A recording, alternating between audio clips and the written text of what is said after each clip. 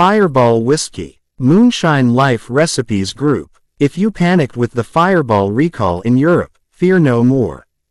Okay. It's still laced with propylene glycol, a component of e-cigarettes and antifreeze, but we have a homemade version even tastier than the original. Trust us, after trying this, you will never return to things bought in the store again. Homemade Fireball Whiskey. Grades. Plan ahead, as it takes 7 days to infuse. 750 milliliters bottle whiskey. 5 to 6 cinnamon sticks. 3 quarters ounce plain syrup. 4 to 5 dried peppers. Directions. Pour the whiskey into a jar or large container with an airtight lid.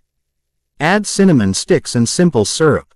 Stir gently. Cover and let stand for 5 days in cool, dark space.